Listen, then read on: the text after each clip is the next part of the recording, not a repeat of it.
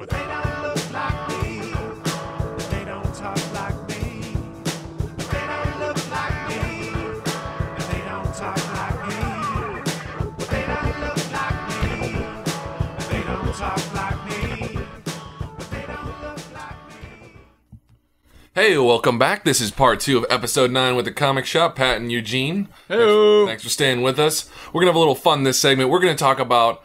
We're not gonna talk about hypothetical or make believe superheroes. We're talking about the real effing deal, man. Real superheroes here in the Pacific Northwest. How kick ass is that?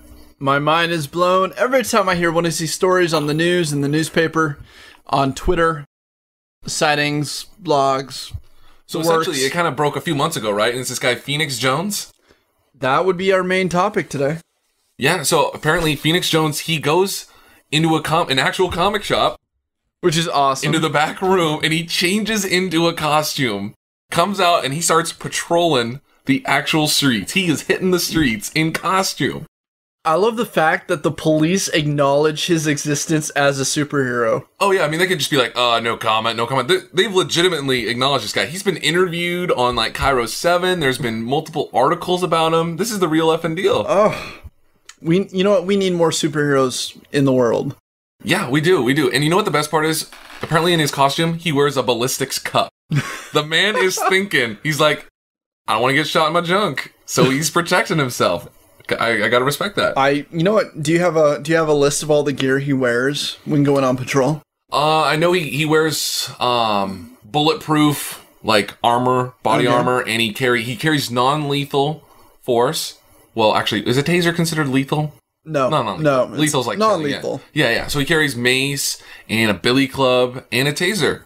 He's not like you know. He's not the Punisher. He's not going out icing you know drug dealers, and, Hanging them from rope, uh, you know, off buildings twenty stories up. Yeah, shooting them with a grenade launcher, and then chucking them off a building so they get spiked down below on a fence. Like he's an honorable guy, and apparently he always does a really good job of like keeping mental notes in case of, for like police reports and and filing and calling and stuff. So he's doing his thing. You know what? And he's been really cool as far as like keeping his identity secret. Yeah, that's awesome. No, no, I, I, think the police like tracked down the car he was driving, and it wasn't his. It was like his godmother's, and she wouldn't give him up. Yeah, it's his godmother's Kia. He's driving a Kia out looking for scum. I mean, that's awesome. I mean, I'm inspired. This is an ordinary citizen standing up against injustice. I, I wholly support this guy.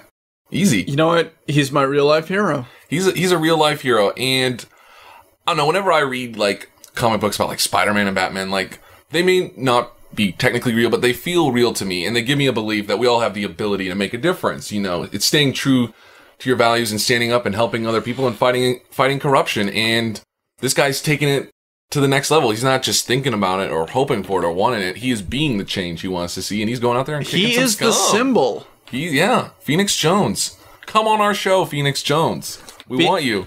Phoenix Jones, if you are listening, we would love to have you on the show. We will treat you like a god. We could do a little countdown of your most epic fights and stabbings and beatdowns and all that or, or you know stuff. what, you can just come onto our show and tell us, you know, what it's really like in in your day to day life as far as going on patrol and how citizens can kind of protect themselves or take that step. I, I hear that everybody in your in your league. In, in, in your Justice yeah, League, yeah, yeah. in your Justice League, you know, is like are like ex-military and they're all trained in like mixed martial arts, and which is you know really smart. But what if you say you have like just some kid who kind of wants to follow your steps and you know becomes become a superhero themselves? What what's the best way for them to get involved with you know not necessarily putting themselves in danger? Anyway, if you're listening, um, contact us through either our YouTube or um, our blog site.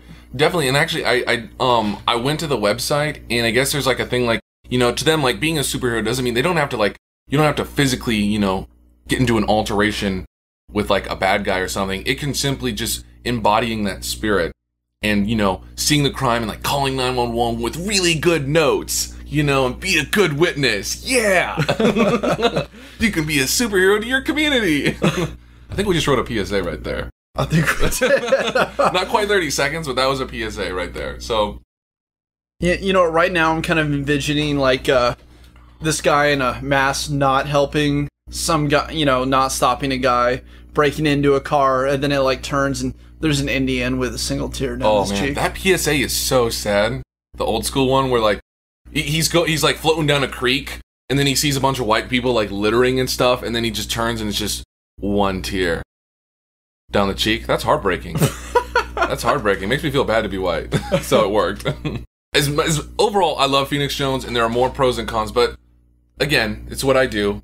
I got, I got to play the other side a little bit too. There are some cons. I mean, it's fun to pretend and dress up, but at the end of the day, this isn't make believe. I mean, these are real bad people with guns or knives and stuff. He could seriously injure himself or even the person he's trying to save. I mean, there's definitely that risk. I heard that he was actually in situations where guns have been pulled on him. yeah. And. I heard that he got stabbed in one of the altercations. Yeah, and I mean, take it a step further. Say he kind of ruffles some wrong feathers, and he starts getting involved with uh, thwarting some some bad guy over Or some gang. or some gang a few times. All of a sudden, you know, we're talking about like I don't know, maybe following him, trying to find out who he is and people he knows, and we're talking like serious repercussions here. That's probably that's why. scary. That's probably why he like never leaves a phone number to be reached at. that, that's a good first step. I would be very, very careful. So I, I hope none of that ever happens to him because I, I applaud him, but it is it's got to be a worry. and and the biggie is we talked about like death and resurrection in comics, which is all good and fun, but There's just- none of that in real life. yeah, this ain't gonna happen for Phoenix Jones. He gets capped in the face and he dies. Uh, sorry, there's no start over. There's no resurrecting you like three months later in a sweet epic graphic novel like Captain America or something. Like you're dead, dead. Not that it really had to be said, but folded time Yeah. continuum. yeah. So thinking of Phoenix Jones got me thinking, Eugene. If you were to be a superhero, what would be your power? What do you want? I'll give you two. You can get t- two superpowers to start off. What's your fighting style? What's your costume? Name? Have you ever thought about that kind of stuff? You know what? I would love the super strength because you get automatically get invulnerability with it. The super strength is a good baseline. I would go with the super strength and the super agility. I mean, crawl, wall crawling and stretching out lar- really long and making lightning would be cool. But I, in terms of like a baseline foundation for my powers and really helping people in a variety of situations, super strength and agility goes a long way. Hmm. That's what I saw. I, I think my second one would be I would love to be a pyrokinetic. Not just in the sense of like being able to create it, but in the sense that I could control it. I could walk up to like a house on fire Yeah. and basically put it out with my mind. I would be the ultimate firefighter. You gotta make me a promise though. You do not be a D-bag like the guy in X-Men movies, okay? He was kind of cool at first, and then he went to Magneto's side and was a huge D. Or you know what? The hotness from No Heroics. Yes. Be That guy's a total douche. yes, I don't know, so- like like like I loved him on the very first episode I saw where he's like, I'm not getting enough attention. Nobody knows who the hotness is. So he basically goes to a strip club, um, and lights a cigarette, sets off the fire alarms, and then he gets beat up by a bunch of strippers. That didn't really work out for him, did it? No, but Kinda- he was just being a d bag, Yeah. and then all these strippers are like out, you know, a couple hours worth of work, and he's just like, he wants to party with the bad boy, and so some strippers end up beating him up. Oh man, good times, good times. But I mean, like for me, I would see myself as kind of a Captain America esque, not maybe in like the costume, but more in terms of like just the style. Like I would want to be like a really good tactician and just be super, super strength and agility and that kind of stuff. That would be pretty cool. That'd be really fun. And the uncanny ability to throw a shield and somehow have it always come right back to me. That is agility at its best. That's that's the best right there. That's Yeah. the best. Okay. Okay. And Phoenix Jones, hero or fool? Is he gonna get himself hurt here? You know, odds are eventually something's going to happen if you do it enough. But you know what? It's definitely an occupational hazard. It comes with the territory, and hey, man, best of luck to you. I mean, you're you're definitely becoming a symbol in your community. A lot of people are going to look up to you. You know, a lot of a lot of younger kids are probably going to just change their entire lives if they end up meeting you once or twice Yeah. and trying to model without, you know, of, of course you're going to be like, hey, don't put yourself in harm's way, you know, train and study and, you know, stay in school and stuff. But there there could be some altercations that could potentially um scald you for life or even end your life. Yeah, I mean, I, I think as long as he's not like breaking the law and he's using non-lethal force, I say go for it. I, and I hope the community embraces him. He's doing a great thing. So, but yeah, that was real fun. Good times. If you got any ideas for what your costume or super strengths would be, please let us know on our Facebook. But now we're gonna move to hero or villain of the week, which is brought to you by Bright House Images. You need a photo? Give him a call. AJ Mallory is a pro's pro. He'll do you right. And real quick, the number is 206 494 0282. We'll throw that info up on our Facebook as well. Well, I'm villain this week, so I think it's appropriate for me to start out.